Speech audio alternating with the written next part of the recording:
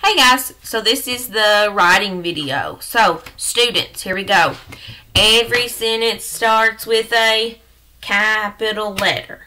We have a word, space, word, space, word, space, and what's at the end?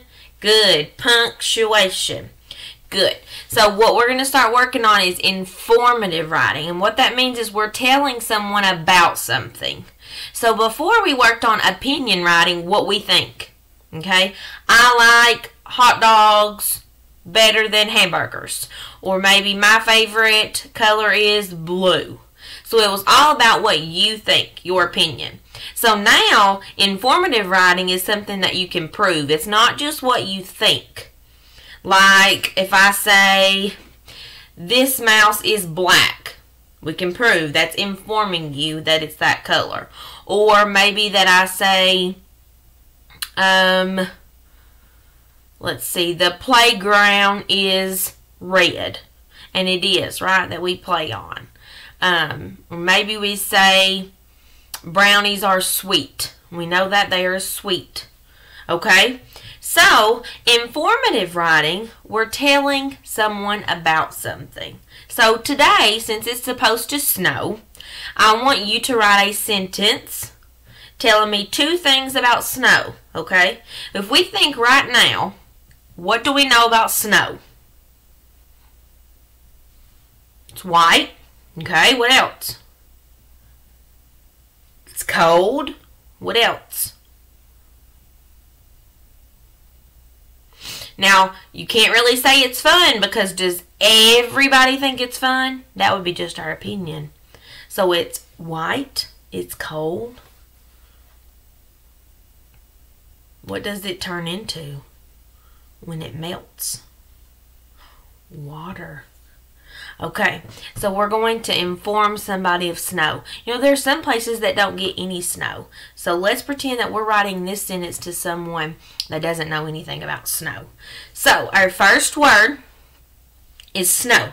Okay, first word is snow. So you're going to sound out snow. So with your pretend rubber band, stretch out that word and we're going to say sn, sn. What did you hear? You heard S. S. Okay, so we're going to write an S. So, I've got my paper here to give you an example. So remember, always start your letters at the top. Good. So my capital letter, I'm going to make a S. Now make sure you write your letters correctly. We've been working hard on that. So, let's stretch out snow. We've got S. So, sn, O. What letter says O? That's right. O says O. Now remember O is one of those letters that has to go below that dotted line in the middle. So we go around like a C and then we close it up. So O. Hmm. W w. What letter says w? W. Good. We've not really done W, so let's really watch. So I start in the middle and I go down, up, like a V. And then we go down again and back up. Good. Snow. Parents, it's okay if it's not spelled correctly. It shouldn't be because they're sounding out. I know it's hard sometimes to let them spell things incorrectly, but I promise it's okay. Snow is. Okay, we've been practicing is. Now, you don't have your spaceman at home. So use your finger. So remember, we're going to put our finger for a space. And now we're going to spell is. Okay, sound out is. I, I, I, I. What letter is that? I. I. Good. So we're going to start in the middle. Go down to the ground. And our dot goes up high. Okay. So I, now I can take my finger off because I left that space. So is, now, z is a z, that's right. But we learn that this letter sometimes makes that z sound. What's that letter? S, good job. So remember, it's not going to be a capital S like this one because we're not at the beginning of the sentence. We're going to do it right here. So go around. Almost like, look, you're making a little bitty C. And then you got to go back around. So that's a curvy letter. Snow is. Now I want you to do that part on your own.